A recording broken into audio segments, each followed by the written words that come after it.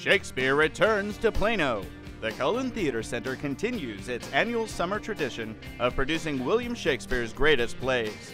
This summer, the Collin Theater Center presents The Comedy of Errors. This charming play tells the hilarious story of two sets of identical twins and the insanity which results from mistaken identities. The Comedy of Errors is presented June 19th through the 29th at the Collin Theater Center in Plano. For more information, go to collintheatercenter.com.